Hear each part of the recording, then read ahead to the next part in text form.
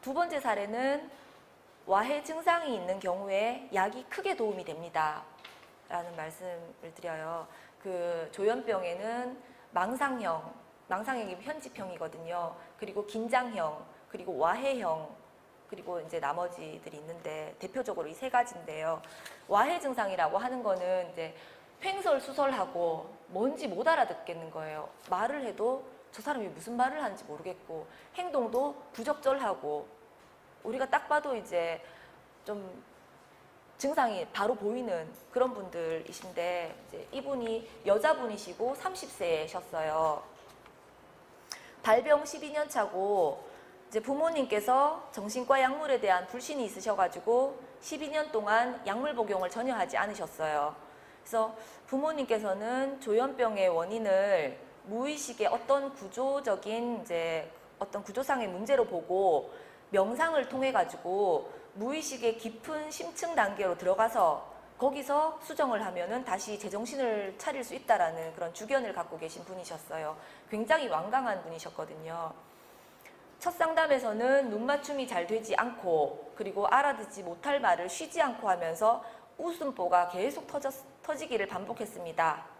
이제 상담자가 질문을 하면 동문서답하는 형식으로 마주 앉아 있어도 대화가 잘 되지 않았어요.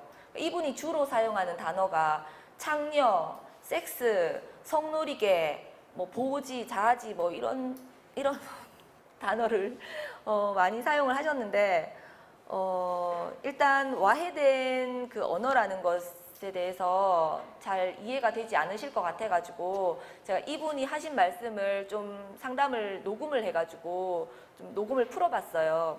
녹음을 할 때는 동의를 했습니다. 왜냐하면 내가 제가 당신의 말을 못 알아듣겠습니다. 못 알아듣겠어서 상담이 끝나고 난 다음에 다시 한번 들어볼게요 하고 항상 노- 동의를 구하고 녹음을 한 상태였고 어, 상담 중반부 중반부입니다. 내가 이런 얘기까지 해가지고 어떤 얘기인지 사람 죽이는 얘기인데 수술시켜 가지고 성형 수술 그래가지고 남자가 여자로 이래 창녀로 만들어 가지고 어떤 성놀이개 놀이개가 만들어지고 항상 성질을 내는 남자애를 앉혀놓고 어떤 얘기를 지 앞에서 내보는 앞에서 더 하라는 식으로 얘기를 하는데 내 몸에 소음순이고 대음순이고 아빠는 지 불알에 여덟 개가 귀신이 붙어가지고 있는 걸 보여주더라고. 몸이 아파가지고 그런 식으로 내가 내한테 얘기를 하고 있는가. 하여튼 아저씨를 갖다가 지한테 얘기를 해놓고 그 사람 본- 보고는 직접적으로 대화를 하라고.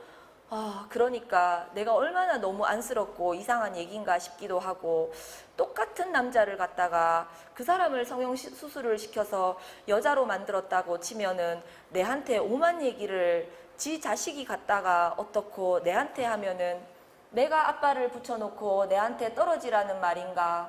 제발 좀 떨어지면 좋겠는데 누구한테 말할 사람도 없고 아빠는 그냥 가락하면 가고 오락하면 오고 그냥 만만한 게 멍청한 척하고 가만 이래 붙어 앉아 있으니까 내가 이래 계속 말하다가 누가 들으면 지 얘기를 퍼뜨리고 병신같이 해가지고 그래가지고 창녀같이 듣고 내가 무슨 정신병자라 일찜해가 왔고 네가 말 좀 하지 말고 그냥 있어라.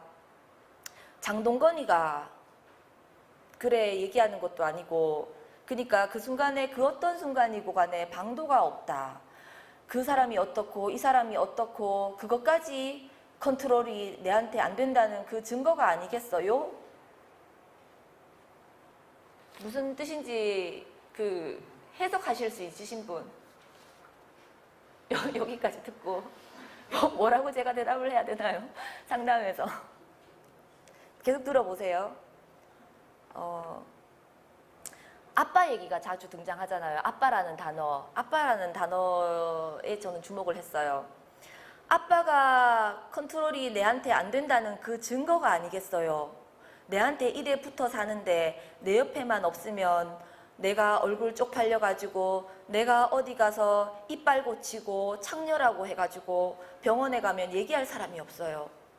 그런데도 요새 이래 이래 이래 얘기하면 얘기할 사람이 없는데 옆에 와가지고 어느 순간 밤만 되면 사람이 눈을 갖다가 어제부터 통제가 안 되더라고. 사람이 언제까지 화내고 살아야 할지 너무 끔찍하더라고. 내가 이래 같은 자식이 내 옆에 탁 앉혀놓고 제발 좀 가지 말라 이런 식으로 얘기하더라고. 다른 사람 보는 앞에서 그것도 나도 좀 다른 애들처럼 지나다니면서 맛있는 것도 사 먹고 근데 아빠가 가족끼리는 그런 얘기까지 해야 되는가 싶기도 하고 정말로 옆에 있으면 다른 사람보다 더 심한 거예요. 다른 사람이 욕할, 욕을 할 만큼 내한테 자꾸 오니까 멀쩡하게 돈 버는 사람들도 창녀도 아니고 겁날 정도로 내한테 얘기를 하니까 이게 무슨 뜻인지 해석이 되시는 분? 네. 잘 모르는 글이에요. 저도 잘 몰랐어요. 그리고 아직도 잘 몰라요. 근데 이분이 이제 사용하시는 단어가 이제 창녀, 섹스, 성놀이계 이런 단어를 이제 주로 사용을 하는데 어, 내용이 이제 딱딱 끊어져서 연결이 안 되니까 도대체 이분이 무슨 말을 하시는지 어떻게 또 반응을 해야 되는지 아, 그게 무슨 말인지 잘 모르겠어요. 이 말을 제가 많이 했거든요. 그러니까 아니면 그냥 그 말에서 느껴지는 그 감정적인 부분들 뭐 장동건이가 뭐 창녀가 이러면은 "헉, 그게 무슨 말이에요? 또 이렇게 뭐 반응을 한다던가 반응하기가 참 힘들었어요. 제가 솔직하게 반응을 한다는 게 잘 모르니까. 근데 이제 4개월 정도를 상담을 하면서 어, 이 와해된 상태에서도 상담을 계속하니까 말이 차분해지고 표정이 밝아져요. 처음에는 막 찌글찌글 해가지고 너무 괴로워서 와가지고 말도 두서도 없고 말을 하다가 갑자기 막 웃었다 울었다 막 웃음보가 터지고 막 그런 상황이었는데 이제 4개월 정도를 상담을 하다 보니까 좀 차분해지는 경향이 있어요.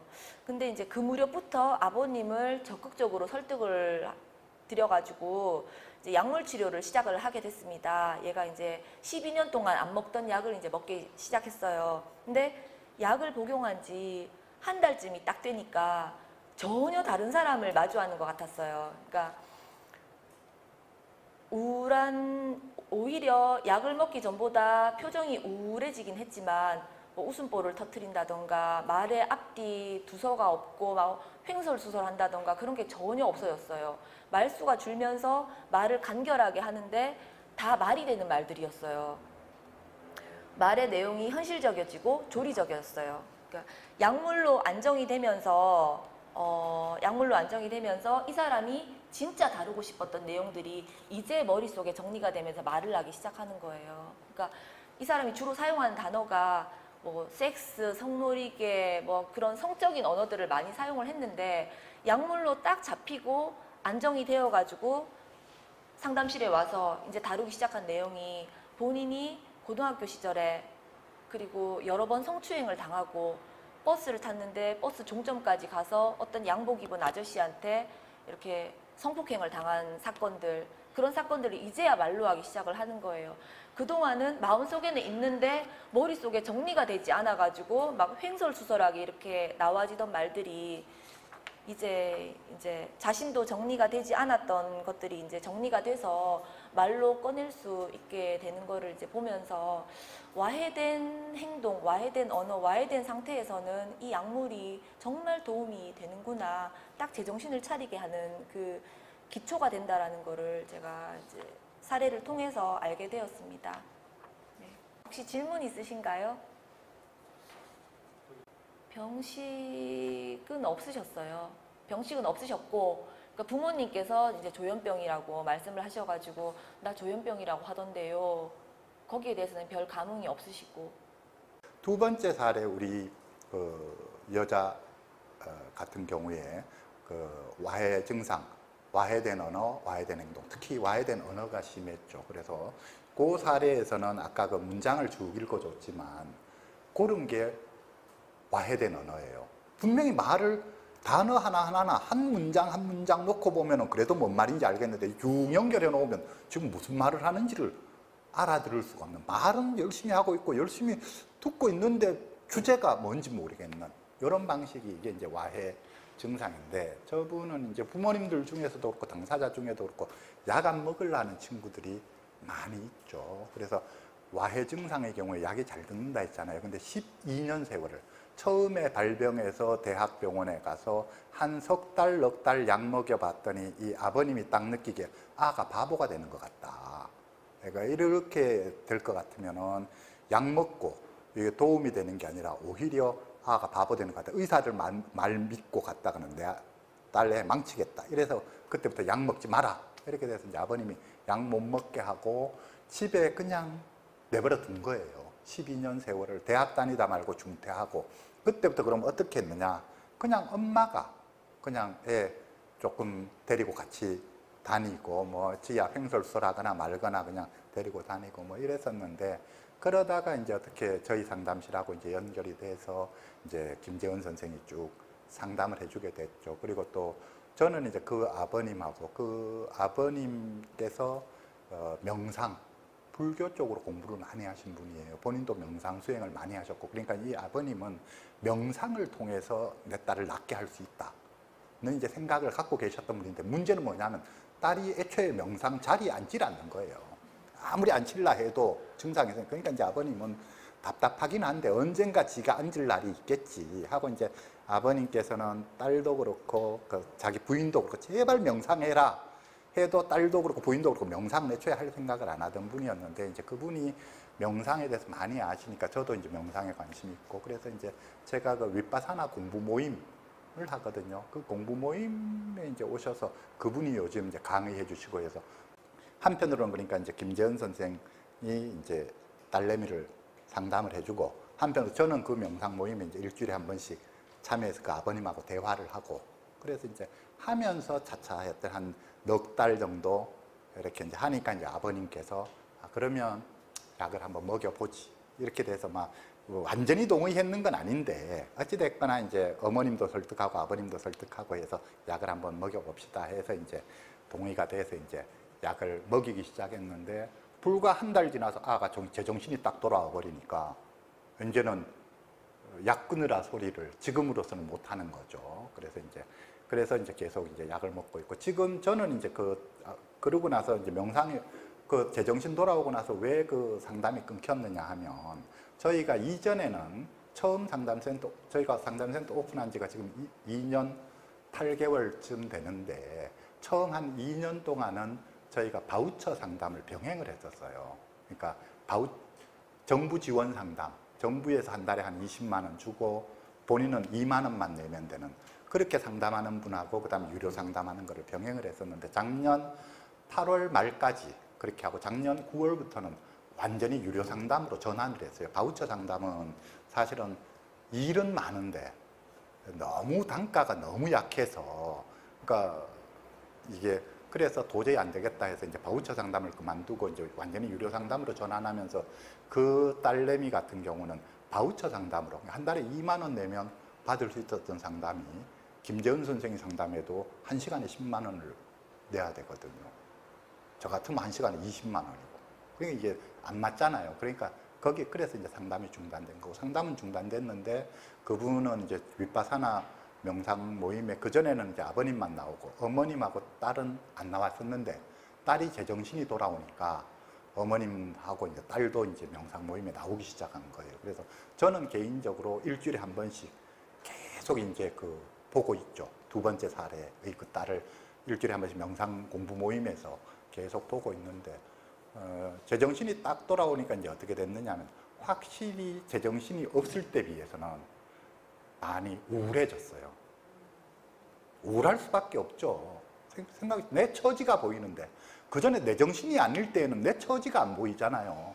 그러니까 막 횡설수설하고 그 다음에 막 웃음보가 우리가 실리 스마일이는 실실 웃고 혼자서 막, 막 웃음보가 터지고 그러니까 자기 현실을 모르니까 그 살았는데 이제 현실을 아니까 본인 입장에서 마음이 무겁죠. 마음이 무겁죠. 그래서 전에 비해서는 좀 조금 이제 분위기가 조금 무거워진 그거는 있는데 그래도 열심히 하고 있어요. 그 어머님하고 계속 산책 다니고 뭐 배우러 다니고 등등 해서 지금 그렇게 이제 하고 있는 어, 중이고요. 그래서 그 두 번째 사례에서 하고 싶은 이야기는 뭐냐면 약 먹어야 된다는 거예요. 약이 분명히 도움이 되는데 약에 대한 여러 가지 오해 때문에 안 먹이려고 하는 분들이 있어서 조현병이 있다. 조현병이라고 진단받으면 무조건 약 먹어야 돼요. 약 안 먹고 조현병 해결할 방법 없습니다요.